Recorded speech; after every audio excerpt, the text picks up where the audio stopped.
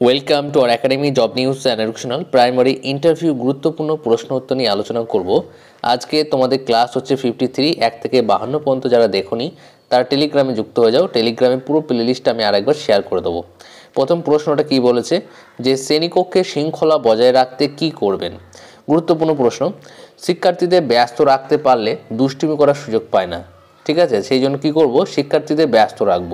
হ্যাঁ শ্রেণীকক্ষে শৃঙ্খলা বজায় রাখতে তাদের পড়াশোনার কাজে ব্যস্ত রাখা যেতে পারে, কোনো অ্যাক্টিভিটি কাজে ব্যস্ত রাখা যেতে পারে, ঠিক আছে? আর তোমরা যদি প্রাইমারি ইন্টারভিউ ব্যাচে ভর্তি হতে চাও, তাহলে eight nine four five eight seven nine eight two nine এই নাম্বারে কন্ট্যাক্ট করে ভর্তি হতে পারো। চারশো নিরানব্বই টাকা ওয়ান টাইম ফি তোমাদের mock test demo class interview প্রশ্ন উত্তর, সমস্ত কিন্তু কভার হয়ে যাবে। একবার পে করলেই হবে। তোমরা যদি ভর্তি হতে চাও, যদি ইন্টারেস্টেড তাহলে অবশ্যই কল করতে পারো। দেখো, এরপর কি বলেছে? পড়াশোনা ব্যতীত আর কোন কোন কাজ কাজে শিক্ষার্থীদের অংশগ্রহণে উৎসাহিত করবেন? পড়াশোনা ব্যতীত খেলাধুলা, শরীরচর্চা, ছবি আঁকা, নৃত্য, আবৃত্তি, বৃক্ষরোপণ ইত্যাদি কাজে শিক্ষার্থীদের অংশগ্রহণে উৎসাহিত করব। তারপর তিন নম্বর প্রশ্ন কি বলেছে? গরমকালে কোনো শিক্ষার্থী অজ্ঞান হয়ে গেলে কি করবেন? প্রথমে তার মাথায় জল দিয়ে তাকে সুস্থ করার চেষ্টা করতে হবে।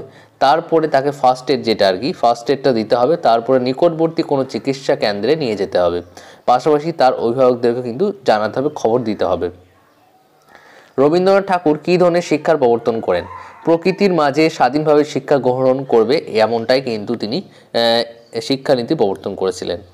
পড়াশোনা ব্যতীত আর কোন কোন কাজে শিক্ষার্থীদের অংশগ্রহণ উৎসাহিত করবে একটু আগে রিপিট হয়েছে। বর্ণ পরিচয় কার লেখা? ঈশ্বরচন্দ্র বিদ্যাসাগর। বাংলার, বাংলা বর্ণমালার স্রষ্টাকে Ishwarchandra Vidyasagar. M D M S, এর পুরো নাম কি? Mid day meal scheme. ঠিক আছে? Mid day meal scheme. শিক্ষার্থীদের খাওয়ানোর পর মিড ডে মিল বেঁচে গেলে কী করবেন? দেখো, আমি যে এখানে উত্তরগুলো দিচ্ছি, সেই উত্তরগুলো তোমরা একটু মডিফাই করেও কিন্তু দিতে পারো, কোনো অসুবিধা নেই। যারা রান্নার দায়িত্বে থাকেন, তাদের মধ্যে সেটা দিয়ে যায় দিয়ে দিয়ে দিয়ে দেওয়া হবে। তবে সেই খাবার কিন্তু পুনরায় শিক্ষার্থীদের দেওয়া যাবে না।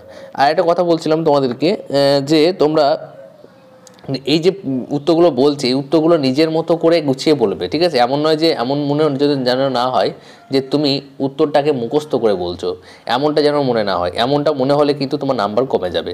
আর প্রথমত হচ্ছে সিচুয়েশন বেস যে প্রশ্নগুলো হয়, সেই প্রশ্নগুলো তোমাকে উত্তর দিতেই হবে। তুমি পারো আর না পারো যেমন তেমন উত্তর দিতেই হবে। যদি বলো যে, না, পারব না তাহলে কিন্তু তোমার নাম্বার কাটা যাবে।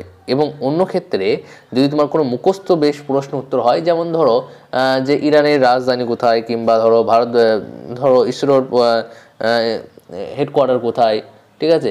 এইগুলো যদি তুমি না পারো, তাও কোনো সমস্যা নেই। কিন্তু তোমাকে সিচুয়েশন বেশ প্রশ্ন উত্তরগুলো পারতে হবে। তারপর স্বাধীনতা পরবর্তী কয়েকটি কমিশনের নাম বলতে বলা হয়েছে।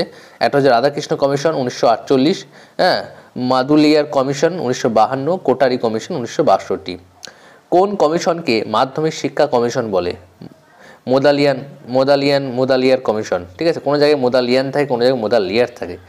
এখানে তোমাকে দেখে নিতে হবে। আপনার তো উচ্চতর শিক্ষাগত যোগ্যতা রয়েছে, তাহলে প্রাথমিক শিক্ষকতা করতে চাইছেন কেন? দেখো, স্যার, শিক্ষকতা একটি মহান পেশা।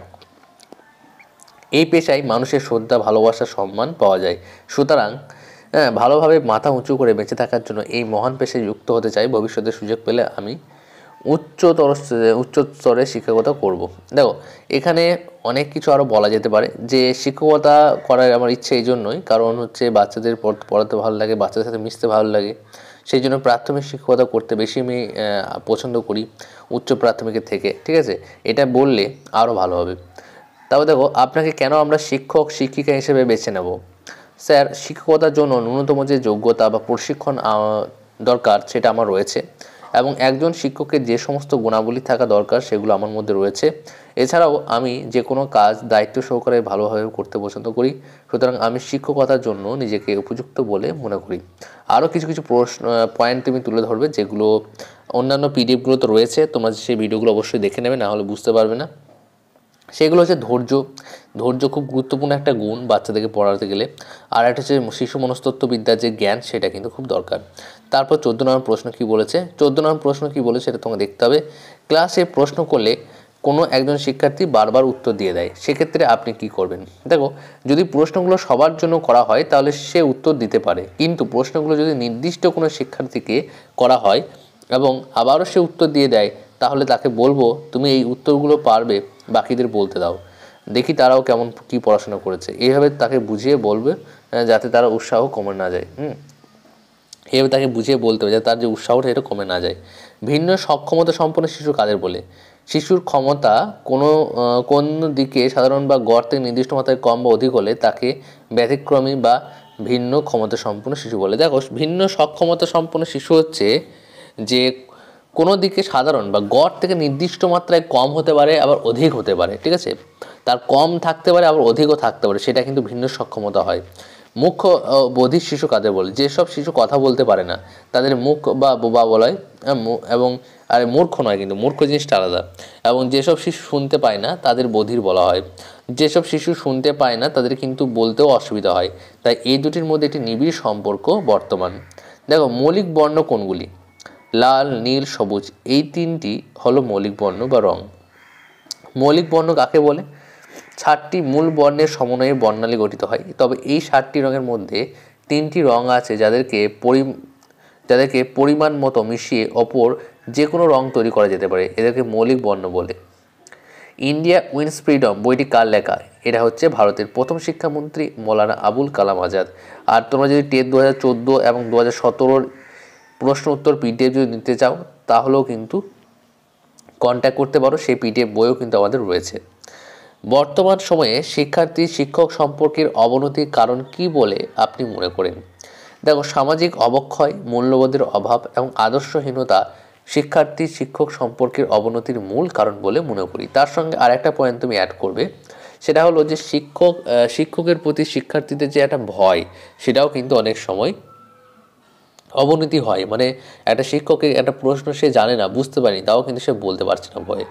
তারপর, যদি কোনো শিক্ষার্থী নির্দিষ্ট সময়ে বিদ্যালয়ে না আসে, তাহলে আপনি কি করবেন? দেখো, কোনো শিক্ষার্থী যদি নির্দিষ্ট সময়ে একদিন, দুদিন না আসে, তাহলে তো ঠিক আছে। কিন্তু যদি সেই শিক্ষার্থী বারবারই না আসে, তাহলে তাকে জিজ্ঞাসা করতে হবে যে সে নির্দিষ্ট সময়ে বিদ্যালয়ে আসে না কেন?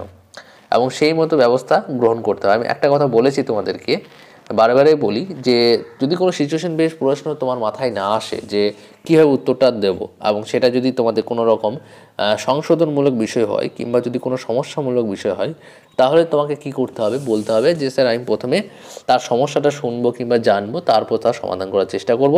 তারপর দু এক লাইন তুমি বলে দিতে পারো, তাহলে কিন্তু উত্তরটা অনেকটাই কভার হয়ে যাবে। হুম।